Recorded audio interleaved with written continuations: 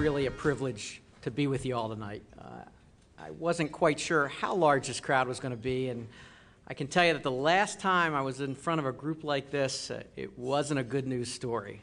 Uh, so wonderful to be here. Um, Admiral Miller, Captain Clark, a mentor and friend, great to see you here again, sir.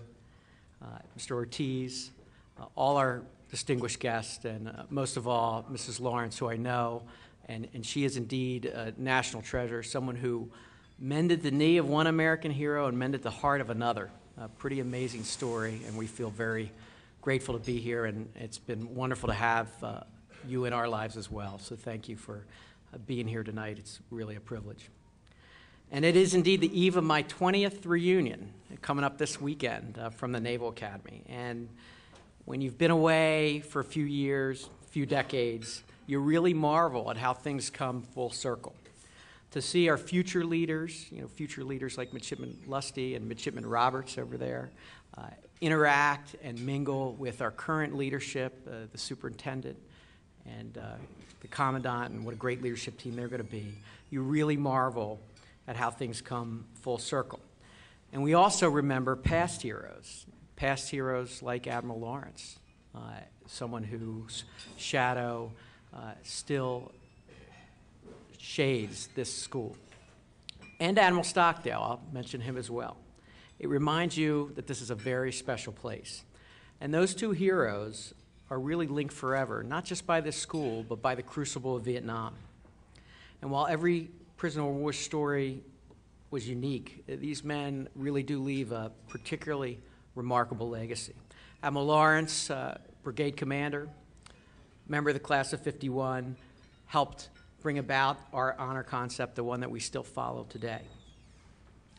And he's a man that a future chairman of the Joint Chiefs of Staff would call the most gifted naval officer of his generation. And Admiral Stockdale, class of 47, someone close to my heart since I was the first CO of a ship named in his honor, was a gifted intellect and leader, future best-selling author with his wife Sybil, who I know and admire very much, and would go on to earn the Medal of Honor. But really, it was when these two men were stripped bare of the achievements and trappings that the modern world perhaps holds a little too dear that we really saw the essence of their true character, and that was in North Vietnam.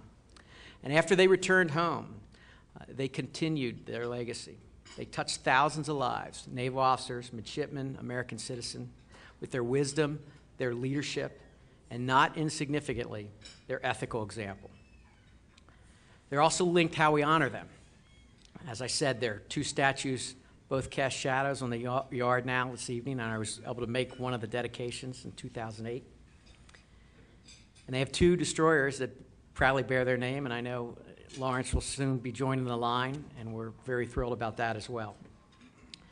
But most of all, we can honor them by living up to their example. And having spent time with both men and both families, I really wish they were here tonight because I think 10 minutes with them, with those two men, uh, would probably teach us a little bit more about ethical leadership than many of the books that purport to be about that subject. But unfortunately, tonight you're stuck with me. And unlike these two extraordinary men, I'm neither an ethics expert and I'm certainly not a hero. Frankly, um, in my life, the biggest tests have chosen me, not the other way around. And as a midshipman, and there's a couple upperclassmen who remember me and are in the audience tonight, they can probably attest to this, I was pretty ordinary. In fact, a few upperclassmen would probably say that Kacher was a little less than ordinary. I couldn't march. I may have been the worst sailing student in the history of the Naval Academy. And I walked a few tours on Red Beach as well. I was, I was ranked second to the last at the end of plebe summer, and the guy behind me quit.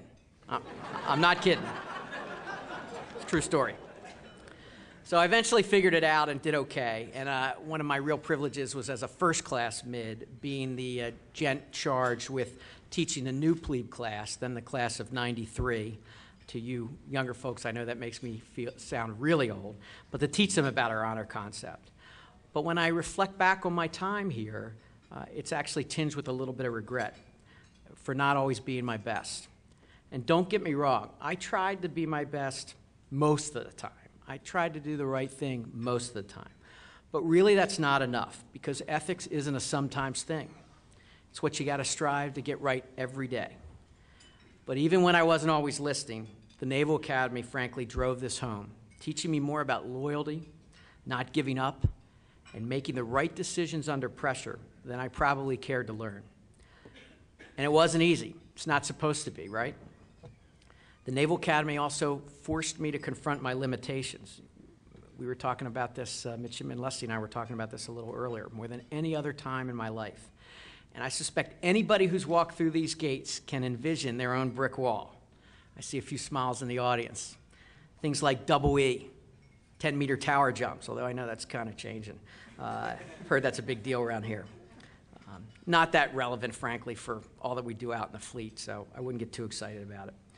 Uh, plebe English, or maybe just a really angry second class with really bad breath who waits for you every morning. But we all have those little brick walls. But through it all, my classmates and I learned what it was like to fail, what it was like to be found wanting, but most importantly, how to bounce back and win as a team.